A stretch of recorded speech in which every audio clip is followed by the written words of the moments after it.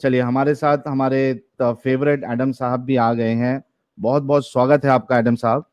प्यारे बच्चों जो कुछ करना था कर लो। अब्बू आ रहे हैं। वालेकुम स्वागत thank you so very much यार वालेकुम स्वागत स्वागत। मैं मुझे स्वागत का आंसर नहीं आता इस वजह से मैंने वालेकुम स्वागत कर दिया। तो आई थिंक चलेगा। तो यार साहिल प्रॉब्लम ये है कि मैं मुझे किसी ने ना ये वीडियो का ये पोर्शन ये एग्जैक्ट पोर्शन दिया था मैंने सुना। तुम्हारा कुरान कहता है कि जब भी बच्चा पैदा होता है वो फित फित, फितरत में पैदा होता है फिर उसके माँ बाप उसको जूस या यहूदी बना देते हैं यहूदी या ईसाई बना देते हैं। अबे वो मोहम्मद जब पैदा हुआ उसका बाप काफिर, उसकी माँ काफिर। चोरी कहाँ से आ गई? यार, इतने स्टूपिड आर्ग्यूमेंट है इन लोगों के।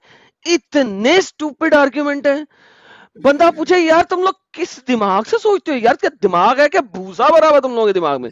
मैं कहता हूँ कि ऐसे लोग, यानी ये ये इस्लाम में रहे भाई, इनकी कहीं ज़रूरत नहीं है बाहर इस्लाम से। इस्लाम से बाहर जाके ना बाकी सारी थियोलॉजीज को भी खराब करेंगे साले। अबे एक बच्चा काफिर घर में पैदा हो रहा है। माँ काफिर, बाप काफिर। छह साल की उम्र में जब सबसे पहले जाएगा तो वो काफिरों वाले मंदिर में जाएगा या मस्जिद चला जाएगा सीधा? अच्छा और ये जो जिस जिस बच्चे ने आर्ग्यूमेंट दिया है I don't know about him ये पता नहीं डिबेट वो आप वो आप बता वो आप बता दीजिएगा कोई मसला नहीं है। लेकिन देखो एक इंपॉर्टेंट बात हदीसों में मिलता है कि मोहम्मद जिस वक्त काफिर था ठीक है और लड़का था अभी जवान लड़का था उसने काबे की तामीर में हिस्सा लिया ठीक है? सबसे पहला मोहम्मद बंदा था जो कि उस दिन सुबह सुबह पहुँचा ताकि हिजरा असवद वो लगा सके। और फिर उसने बंदों को बुलाया, चारों कोनों में चारों कबीलों के लोगों को खड़ा किया और सेंटर में हिजरा असवद रखा और वो वहाँ पे लगाया। अब साहिल माई क्वेश्चन इज़ कि ये वो वक्त है जिस वक्त वहाँ पे 360 बुत थे।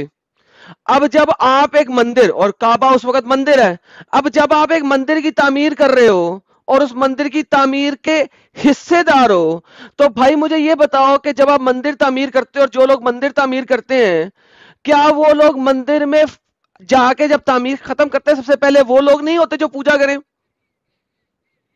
Exactly exactly. और दूसरा एडम साहब, इनका आर्ग्यूमेंट इतना लेम और इतना भद्दा सा आर्ग्यूमेंट था और इसने जो हदीस पेश की, उसमें एक और एक कॉमेडी क्या थी मालूम, अगर आपने गौर किया हो उसने बोला कि भाई, जब रसूलुल्लाह ने अल्लाह से परमिशन मांगी दुआ के लिए तो वो दुआ की परमिशन अल्लाह ने नहीं दी सिर्फ़ कब्रिस्तान में या कबर पे जाने की इजाज़त दी। जी। तो ज़ाहिर सी बात है वो मुशरिक थी इसी वजह से नहीं दी।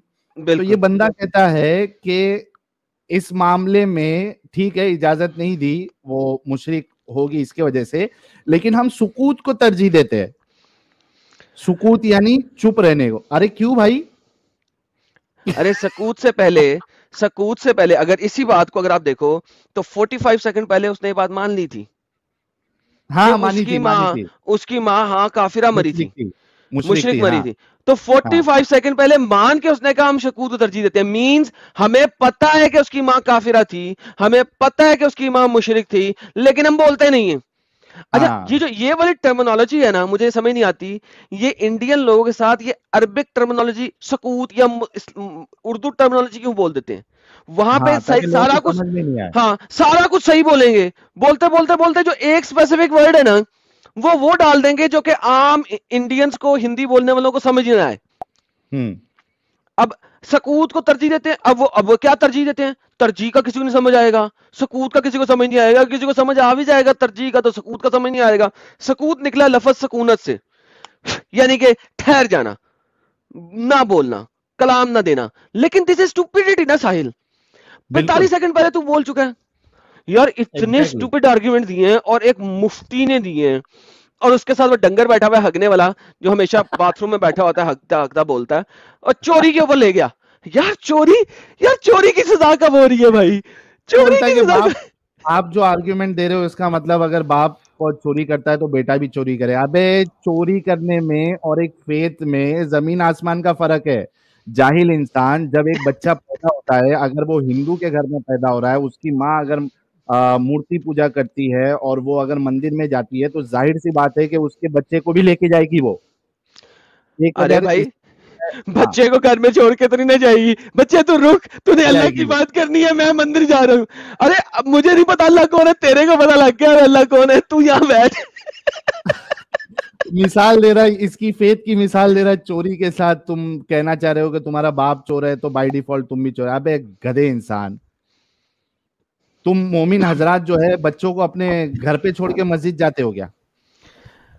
साहिल भाई इनका इनका मज़हब ही चोरी का है तो चोरी की मिसाल देंगे ना।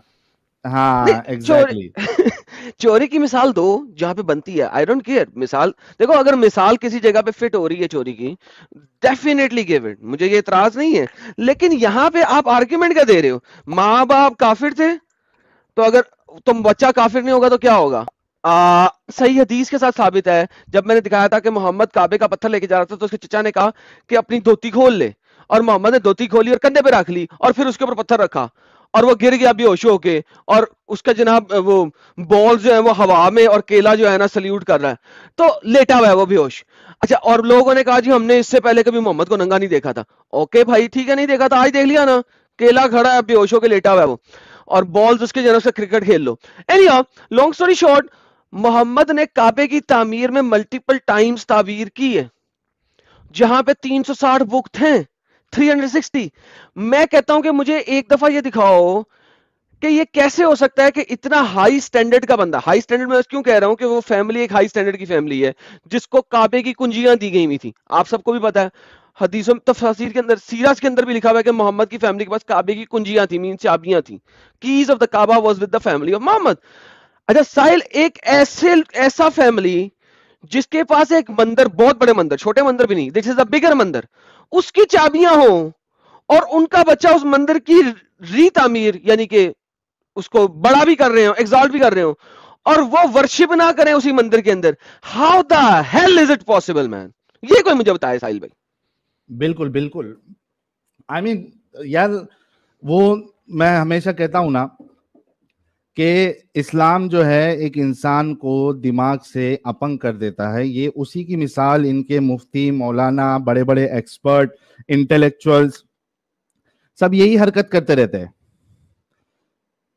ये ये असल में प्रॉब्लम इनका नहीं है प्रॉब्लम इस्लाम की वजह से इनके अंदर आया है। ये वायरस जो है, ये बीमारी है इस्लाम की वजह से। है मोमिन की जलेबिया भाई thank you so much for gifting twenty memberships thank you so very much काफिरा का है। तो भाई फातिमा जी रसूलुल्लाह की मम्मी जान जो है उनको मुशरिका जो है वो मुफ्ती साहब ने भी कहा और बल्कि ये जो स्क्रिप्चर्स है आपके उसमें से ये बिल्कुल साबित होता है। बल्कि सिर्फ़ मम्मी जान ही नहीं अम्मी जान ही जान। नहीं बल्कि अब्बू जान जो है वो भी काफिर है। और ये बात तो खुद रसूल अच्छा इसमें अभी तुमने थोड़ी देर पहले अच्छा साहब- रसूल रसूल ने अब्बा जान के बारे में तो सीधा सीधा बोल दिया ना कि जहन्नम में है फ़ी नार।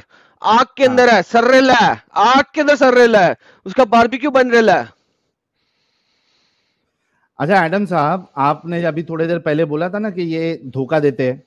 तो एक वो जो मैं नहीं बताया था कि मैं जैद साहब के स्ट्रीम में जुड़ने की कोशिश कर रहा था चालीस मिनट तकरीबन था उन्होंने मुझे लिया नहीं। वहाँ किसी शख्स ने इसी चीज़ का ज़िक्र किया कि भाई रसूलुल्लाह के जो अब्बा जान है वो तो काफिर थे। वो वो बंदा आंसर क्या देता है पता है तुमको? तुम क्या? एक्सपेक्ट भी नहीं करोगे। वो कहता है कि मुझे इस बारे में इल्म नहीं है। बाबा जी का ठुल्लू। साला झूठा मकार जाहिल। जस्ट इमेजिन वो बोलता है कि मुझे इस बारे में जो है ना इल्म नहीं है मुझे चेक करना पड़ेगा मुझे देखना पड़ेगा क्या है। यार, बोला, इतने इतनी बड़े- बड़ी धोखेबाजी। यार इतने बड़े मुल्ले बनते हैं सारे और झूठ पे झूठ झूठ पे झूठ क्या यार वो चलाओ यार वो हमारे मोदी साहब का। झूठ पे झूठ झूठ पे झूठ। झूठ बोलो। हाँ, झूठ बोलो। बोलो। यार नोमैड 77 ने भी 10 मेंबरशिप की है। यार थैंक यू यार ये दोनों बंदे जो है ना पता नहीं क्या है यार ये बंदे कमाल बंदे हैं यार। है। मैं कहता हूँ और ज़ोर ज़ोर से बोलो। इस्लाम पीस है। मोहम्मद हमेशा से अल्लाह की बात करता था। कुरान कहता है "ववदक ज़ालन फहदाया नहीं हमने नहीं मानना अल्लाह क्या कहता है? हमने नहीं मानना। तफासिर क्या कहती है? हमने नहीं मानना। हदीस क्या कहती है? हमने नहीं मानना। सीरा क्या कहती है? हम बोलेंगे मोहम्मद सल्लल्लाहु अलैहि वसल्लम। हमेशा अल्लाह की बात करता था। कुरान गया, भाड़ में, कूड़े में डालो, आग में डालो, हमें नहीं परवाह। हदीस को पकड़ो, कूड़े में डालो, आग में डालो, हमें नहीं परवाह। सीरा को पकड़ो, कूड़े में डालो, आग में डालो, हमें नहीं परवाह। हम बोलेंगे मोहम्मद सल्लल्लाहु अलैहि वसल्लम सीधा हमेशा पैदा होते ही अल्लाह की इबादत कर रहे थे अल्लाह की वहदनियत प्रोक्लेम कर रहे थे। अल्हम्दुलिल्लाह रब्बिल आलमीन। क्या बात है बैकग्राउंड म्यूज़िक भी आ गई। हाय हाय हाय हाय। लोगों से बात होती मुझे याद ही नहीं रहते लोग।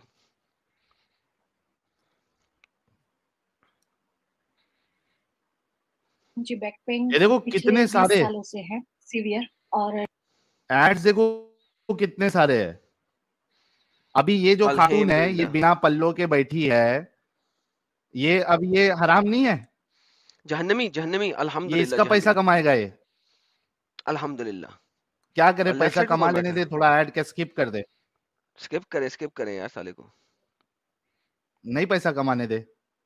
यार हो गए पैसे पूरे हो गए स्किप करने में भी आ गए स्किपेबल एड्स में।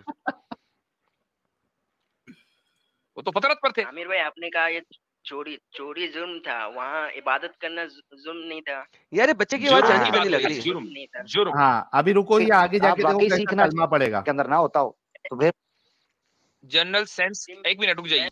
जो सोसाइटी उस वक्त क्राइम नहीं मानी जाती हैं? वहाँ के बच्चे नहीं करते थे ये सब है 25 साल। खदीजा से भी जिनकी अच्छा अब सुन। वाजह तौर पे ये ऐलान जवान हुए तो बनेरे थे टुर इसका मतलब ये है कि आप ये उन्होंने कहा बिल्कुल गुजारी है। चलें बहुत अच्छी बात है। ईमान लाते हैं तीन सवाल थे आपने कहा तीन सवालों के जवाब मिल जाएँगे तो ईमान ले आऊँगा। जी। कमज़ोर था बिस्मिल्लाह मतलब करें। था ही। नहीं अभी आपने था कहा मगर कि था ही। मुस्लिम थे आप। अब आपको हाँ पलटी बिस्मिल्लाह करें। यू टर्न पलटी हो गई पलटी हो गई। हूँ। मैं कलमा पढ़ाऊं, कोई बोला बात तीन सवाल हैं उनके जवाब मिल जाएँगे तो मैं इस्लाम कबूल कर लूँगा। एक्स मुस्लिम भाई अपने साथ ऑनेस्ट हो जाएँ। एक मिनट कर रहे हैं? अल्हम्दुलिल्लाह अल्हम्दुलिल्लाह। कलमा मैं पढ़ाऊं कलमा मैं पढ़ाऊं या मुफ्ती साहब पढ़ाएँ? बिस्मिल्लाह करें मेरा भाई। बाकी जी? मुझे खुद आती है मैं खुद पढ़ना चाहता हूँ। खुद पढ़ें, खुद पढ़ें, पढ़ें। चल यार बंद कर यार इस बंदे की शक्ल दिखा हमें साहिल। छोड़ इसको हो गया। अच्छा। ला इल्लल्लाह हाँ, उसको। उसने बोल तो दिया एक्स मुस्लिम था ही नहीं कलमा पढ़ना आता है खैर वो ये तो पढ़ कलमा लेता है। हाँ। हाँ और यहाँ पे पब्लिक भी बहुत। खुश हो गई ये लोग भी बहुत खुश हो गए इसी तरीके से। हाँ अभी ये हमारे वहाँ पे आके क्या करता है ये बंदा वो देखते हैं रुको। और ये एक बार नहीं आया है कई बार आया है। एक मिनट ये आपके स्क्रीन के सामने। It was narrated that Aisha said the verse of stoning and of breastfeeding an adult 10 times was revealed and the paper was with me. हाँ इधर है आगे पढ़ हदीस फिर से पढ़ हाँ अल रसूलुल्लाह सल्लल्लाहु अलैहि वसल्लम ने फरमाया अल्लाह की बंदियों को मत मारा करो हाँ रुक जा हज़रत उमर जा, रुक जा यही है ना यही है ना। ओह माय गुडनेस यार छोड़ यार क्या डंगर लोग हैं ये कसम से कभी इधर जाते हैं कभी इधर जाते हैं साले कमीने नहीं लेकिन इतना मतलब लोगों को धोखा देने की भी एक हद होती है। हाँ ये इसको हमने जब बोला कि तेरे उलमा को लेके आ बोलता मैं इतना तुम्हारे को भारी पड़ रहा हूँ। मैं ही काफ़ी उलमा की क्या ज़रूरत? और ये वहाँ पे जाके एक्स मुस्लिम पहले बन के जाता है। और बाद में बोलता है मैं ईमान कबूल कर रहा हूँ। तो ये ऐसा शो करना चाहते हैं ये कि भाई देखो ये ये लोग इनको सुन के एक्स मुस्लिम बनते हैं, लेकिन हमारे पे आके हमारे पास आके ये लोग इस्लाम कबूल कर लेते अच्छा साहिल ये तो ये, ये तो एक नैरेटिव बिल्डिंग है ना? दैट्स इट रिमूव कर हाँ। दे इसको कोई मसला नहीं है। Let them build the narrative the whole idea is मैं बताना चाहता हूँ सारों को कि नैरेटिव जितना मर्ज़ी आप बिल्ड कर लें। और वो चूँकि फेक नैरेटिव है ना, वो टूटेगा ही टूटेगा। कैसे टूटेगा? क्योंकि तुम जैसे जो इन जैसे बेवकूफ़ और जाहिल लोग हैं ना, इनको तो आप निकाल देना, कितने हैं ये लोग? राइट द मेजर पापू तुम जैसे जो इन जैसे बेवकूफ़ और जाहिल लोग हैं ना, इनको तो आप निकाल देना, कितने हैं ये लोग? राइट द मेजर पॉपुलेशन जो इस्लाम छोड़ रही है, इस वक्त वेस्ट में भी लोग चीखना शुरू हो गए। अभी दोबारा चीखे अभी रिसेंटली मैंने एक वीडियो अपने इंग्लिश चैनल के ऊपर शेयर की थी जिसमें वेस्ट का जो वो है नहीं मुफ्ती अहमद वो क्या नाम है उसका जिसकी स्क्वायर दाढ़ी है जो बड़ा सीधा होके गर्दन अकड़ा के बोलता है। मेंग हाँ, उ, उसने बोला है कि यार सबसे बड़ा प्रॉब्लम इस वक्त यूथ का इस्लाम को छोड़ना है वेस्ट में। हमें उसको कब्जे में करना है। मेरे इंग्लिश चैनल के कम्युनिटी पोस्ट के अंदर उसकी वीडियो बड़ी हुई है। इमेजिन इस वक्त पागल कुत्तों की तरह टुई रगड़ रगड़ के रोग रोग के बोल रहे हैं वेस्टर्न स्कॉलर्स इस वक्त। अच्छा फिर उसके बाद आप पाकिस्तानी स्कॉलर को ले लें। पाकिस्तानी स्कॉलर्स अभी रिसेंटली आपको पता रमज़ान में, रमज़ान के दूसरे अशरे में कुत्तों की तरह रोए हैं वो भी लाइव बोल टीवी सैटेलाइट चैनल के ऊपर कि चार lakh non social media activist ex Muslim हैं जो बलासफीमी कर रहे हैं। अच्छा तो फिर क्या मतलब है कि इंडिया में इंडिया में इस्लाम नहीं छूट रहा? ये बकवास है, यहाँ पे भी सेंसस नहीं हो रहा। जिस वक्त होएगा तो पता लगेगा कि इंडिया में कितने छोड़ रहे हैं। इंडिया वाले, देखो, इंडिया में देखो तो ऑलरेडी बहुत सारे आपको नाम ऑलरेडी नज़र आ रहे हैं। मेजर काम जो कर रहे हैं ज़फ़र हेरेटिक कर रहा है, आप बैठे हो यहाँ पे। मैं तो वैसे ही छोटा सा बच्चा हूँ इस मामले में। लेकिन इतने बड़े बड़े लोग यहाँ बैठ के काम कर रहे हैं इंडिया में तो आपको लगता है कि यहाँ पे अपोस्टेसी रेट हद से ज़्यादा बढ़ा हुआ है। इंडिया में अपोस्टेसी थोड़ी कंपैरेटिवली कम नज़र इस वजह से आती है कि इंडिया में आपके पास 50 परसेंट मुसलमान वो हैं जो सिर्फ़ मुसलमान घराने में पैदा हुए हैं और उनका नाम सिर्फ़ मुसलमानों वाला। exactly. तो उनकी अपोस्टेसी आपको समझ नहीं आती नज़र ही नहीं आती क्यों उन्होंने कभी मस्जिद का रुख नहीं देखा? कुरान कभी पढ़ा नहीं। ठीक है हिंदुओं के साथ दोस्ती रखते हैं। वो यानी वो सिर्फ़ बाय नेम मुसलमान उनकी इस्लाम सिर्फ़ यहाँ तक आया कि मंदिर के अंदर घुस के वो मूर्ति के आगे सजदा नहीं करना। दैट्स इट यहाँ तक उनका इस्लाम है। वरना वो आ, वो वो वो जो है क्या कहते हैं वो जो त्योहार हैं उनमें भी चले जाएँगे। त्यौहार भी मना लेंगे। सेलिब्रेशंस भी कर लेंगे। They are they are doing every other thing possible